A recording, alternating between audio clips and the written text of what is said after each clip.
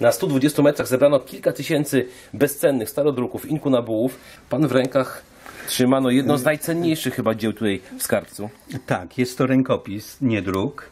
I jest to rękopis, który został podarowany bibliotece wtedy y, Uniwersytetu Krakowskiego y, przez Jana Długosza. Tu jest jego wpis, że pro libraria Universitatis Studi Krakowiensis y, i jest podpis Johannem Długosz. Y, czyli po To jest prostu... który rok?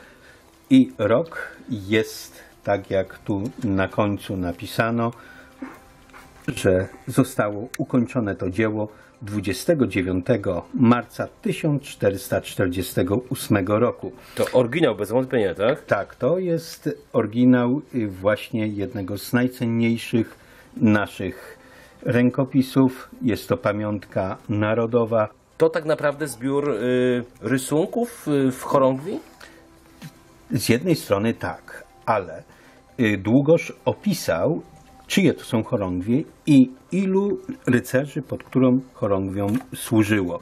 Tu właśnie są opisy ręką To są chorągwie, to są chorągwie z y, bitwy pod Grunwaldem? Tak, większość jest z bitwy pod Grunwaldem. Są także chorągwie zdobyte w dwóch kolejnych bitwach z krzyżakami pod Nakłem i Koronowem. Tutaj na początku jest taka chorągiew, panie dyrektorze, krzyżacka, tak? Tak, to jest chorągiew wielkiego mistrza Ulrika von Jungingena i proszę zwrócić uwagę, że y, złoto było nakładane po prostu ręcznie.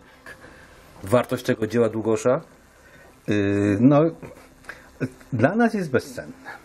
Choć y, kiedy wypożyczaliśmy, musieliśmy ubezpieczyć.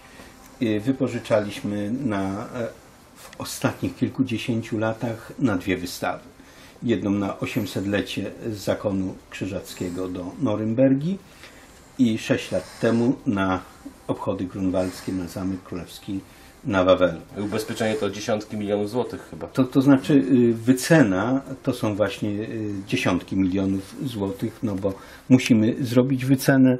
Jest to niezwykle trudne i praktycznie niemożliwe, bo dla nas, dla Polski, rękopis ten jest po prostu relikwią narodową, a nie ma żadnej ceny y, materialnej.